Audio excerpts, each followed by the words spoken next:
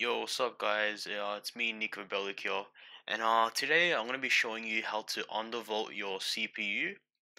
Uh, for as many cases, uh, reasons why you want to do this. Uh, it could be simple as um, if you want to get a more stable frames or FPS while you're gaming, or if your temperature is going too high, if it's reaching above, uh, if it's going like mid 95s or 90s. Uh, yeah, so pretty much what you guys want to do is you want to go to Google and you want to type up uh, Intel Extreme Tuning Utility. And uh, once you type that up, uh, you want to click on the first one. So once you click on the first one, uh, it should bring you up to this page. Yep, this page right here. And you want to click on this. And you want to click on this. On the left hand side, you see you'll see XTU setup.exe. And you want to just click download accept the terms and license agreement. I'm not going to do that because I've already installed it. So once you've installed it, uh, you should be telling you to restart your computer. So basically, after you restart your computer, you just type up extreme on uh, on this on the start menu. Just type up extreme tuning utility, and it should pop up, and should be on your taskbar, on your icons like this and you just want to open it up and the first menu once you open it up it should be on this menu. So once it's on this menu you just want to go on the left side until you see advanced tuning. Once you see advanced tuning you want to look for uh core voltage offset.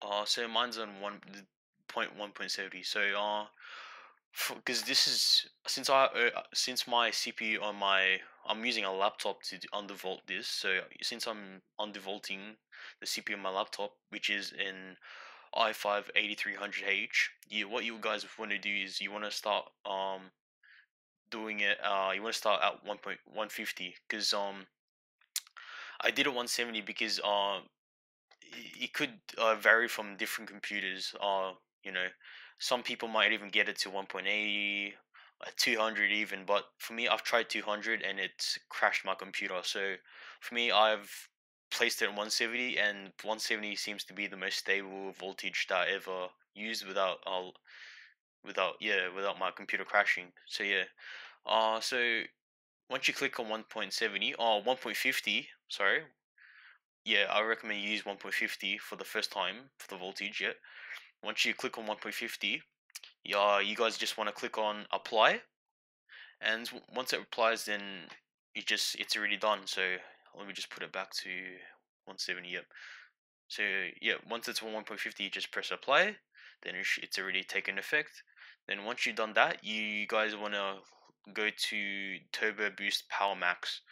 And for this one you want to put this one to 25 and yeah then apply again then yeah, then that's all. Like pretty much just uh uh if you have um the MSI Afterburner with the RivaTuner statistic server, yeah, you could uh go on a game and look at the the the data, like I mean the graph and stuff, like what what it says, and look at the temperatures and stuff and see how it goes. Then if you're not if you're not satisfied with the temperature on the CPU, you can switch it to 1.70 like me and apply again, then see how it goes.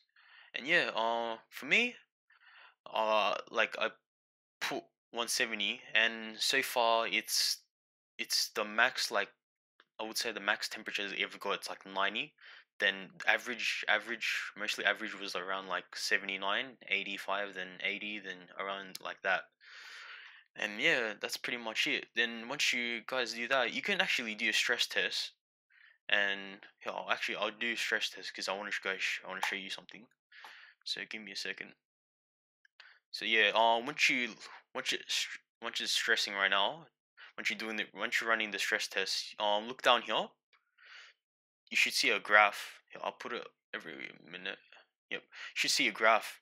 So as you can see the that's the temperature of the CPU. What you guys want to do is you never, when you're stress testing, you, you never like, if you see the purple line go above here, like I recommend that you put your voltage down and um yeah if it's like this this is perfectly good because if it goes up here it's gonna throttle stop your um it's gonna throttle like thermal throttle your uh, CPU so it will just downgrade in performance so what you guys want to do is just like put start 150 then if you see like near like see the purple line near the orange line just go by go by 10 so 1.60 and yeah like then until you see like a line that's just perfectly that's like the space in between it that should be really really good. So yeah that, that's what you guys should get yeah. So um yeah pretty much uh if that's if that's all yeah all right so i think that should be it yeah i recommend not for me i've tried 200 and it's crashed my computer so i would recommend not to do that. If you really like really just finding a good good sweet spot i recommend 170 or even 175 i haven't tried 175 yet but i recommend 170 then yeah that's it.